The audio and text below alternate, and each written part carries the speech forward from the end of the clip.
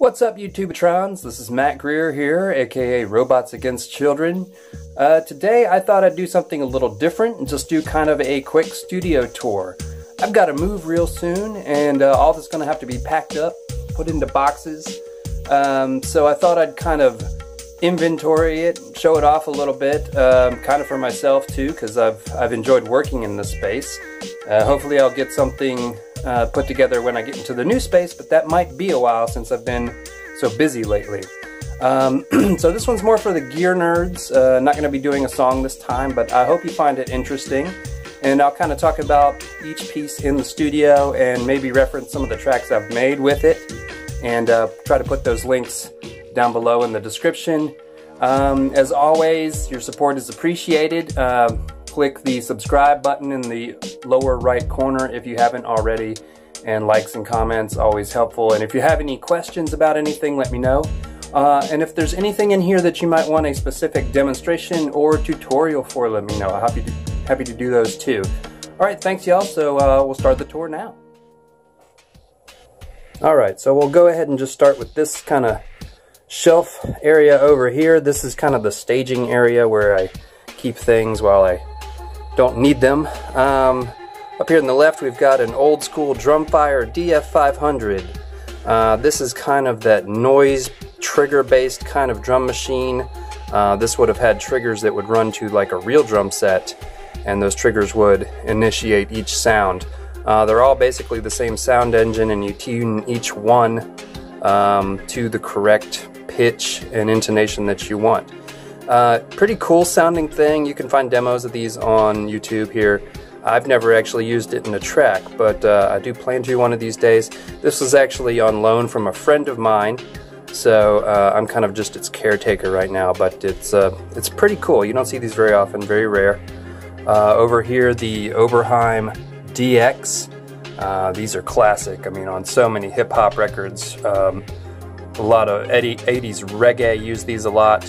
Um, uh, Blue Order, I think, or New Order's Blue Monday, I think, uses this machine, and maybe the DMX on that one, but the sounds are very similar between both. Um, anyway, classic drum machine. Uh, uses these kind of sounds a lot, along with Linn drums, those kind of things. Uh, then we have the Moog Opus 3. This is sort of a brass and string and organ type synth. Um, it has kind of its own sound. Uh, I believe uh, the Beach Boys used this on some stuff in the latter part of their records. Um, cool synth. It's uh, only about 75% functional right now.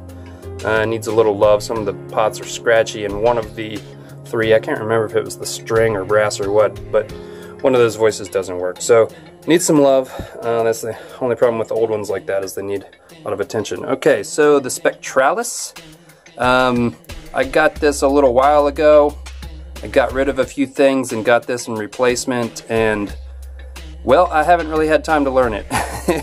it's a powerful machine, but um, I'd be lying if I said it was easy to pick up. Been watching tutorials, reading the manual, but I haven't done much with it. There's my Reface CP. Uh, if anyone's looking for just good electro-mechanical piano stuff, this thing sounds really, really good. Um, some folks don't like the mini keys, and I get that. You know, we have players out there that prefer full-size keys. That's what they learned on. Um, but I will say that for mini keys, these have quite a nice feel, actually. Although I'm not really a, a keys player. I mean, I can a little, but uh, I'm more of a synthesizer guy, so I'm okay with it. Um, down here is just kind of an oddball collection of stuff. We've got uh, an old MIDI box there. I've got a Launch Control XL um, for the rare occasion that I do use a DAW. Um, I've got a VT3 there for vocal effects. Got a JX03 Boutique. Now, I'm going to be honest, I did not want to like those boutique things when they came out. I just, they didn't appeal to me, but uh, I heard a demo from a friend of mine using this, and I was like, wow, that actually sounds really nice, and I got my hands on it, and uh, I have to concur, it's a nice little synthesizer. It's, uh, it's pretty good to use. Uh, if somebody's looking for some old school poly sounds, uh, especially on a budget, you'd be hard pressed to find something better than one of these uh, first generation boutiques. TB3 there for the acid heads.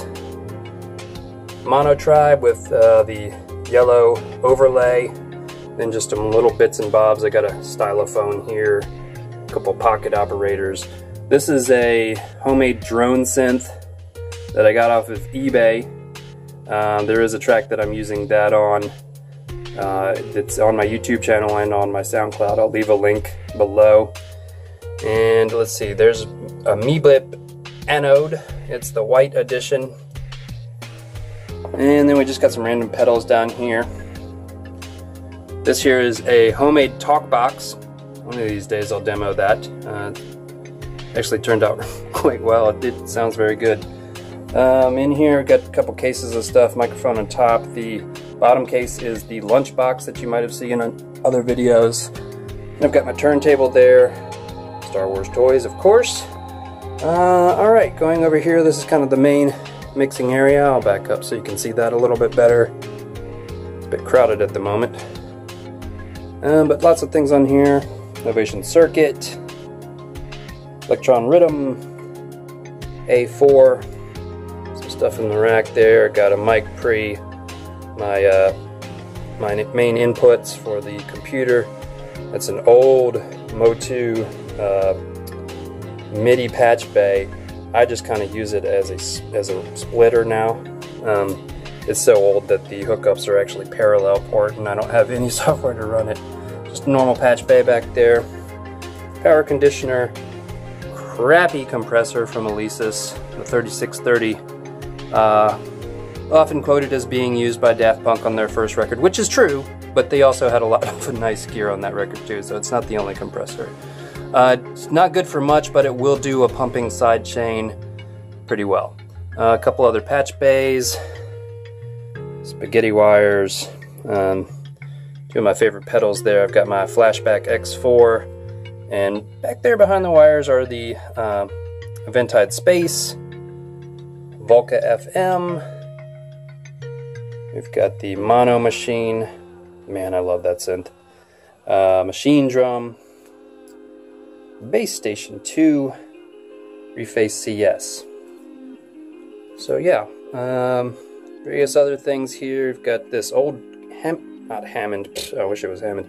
Uh, it's a chord organ uh, which if you're not familiar basically means it's air powered. It's got a blower inside that pushes air through reeds that open when you depress the keys. It sounds kind of like an accordion in a box. Um, this thing is neat. I got it from my wife's grandma. Uh, we rescued it from her basement. And uh, it's fun to play, but it's completely out of tune with anything else. So it hasn't shown up on very much in terms of recording but uh, it has a kind of a neat sound, very French, I guess, in a way. Um, I do have uh, one track that I recorded it onto the end of. I'll put a link for that one just so you can hear what it sounds like. It sounds pretty cool. It's kind of hard to record because of the air motor inside, but uh, yeah, it's just kind of a neat, neat old thing. Uh, this is actually a family heirloom. This is the Micromoog synthesizer that belonged to my wife's uncle. Um, he was a recording artist. They were actually uh, signed to Warner Brothers back in the day, and uh, this was his, and uh, I'm honored to have it. Uh, not only do uh, I cherish it, but I absolutely love the sound of it too. It's just this old school, raw, meaty Moog sound. It's it's it's big. Uh, and then we've got the Juno 106 down below, and is going to drive some people crazy, but I don't really care for that synthesizer all that much. Um, I got some, you know, hand drums, shakers, that kind of things. Uh, that's pretty much the whole space. Um, I got some more guitars back here, just various junk stuffed into corners everywhere. Cheap MIDI controller. That's a Wii uh, Rock Band keyboard, and it's actually a MIDI controller. You can buy those for about 10 to 15 bucks. So and it works. It actually works. Uh, cheap Squier electric guitar. This Electroland amp, uh, a buddy of mine built that, and I've got it here on on loan from him. Um, you see, I've got bass things in the corners, behind the mixing position. These are uh, PreSonus Eris 8s, the monitors. And that's about it. So yeah, after I move, I'll uh, try to get everything set up again and we'll do another tour. But um, thanks for watching, and again, if you have any questions or you want a demo of anything or uh, tutorial or anything like that, let me know. I haven't really done that kind of stuff in the past, but uh, you know, maybe to diversify the channel a little bit, I'll start adding that kind of thing. All right, thanks everybody. Have a great day, and we'll see you later.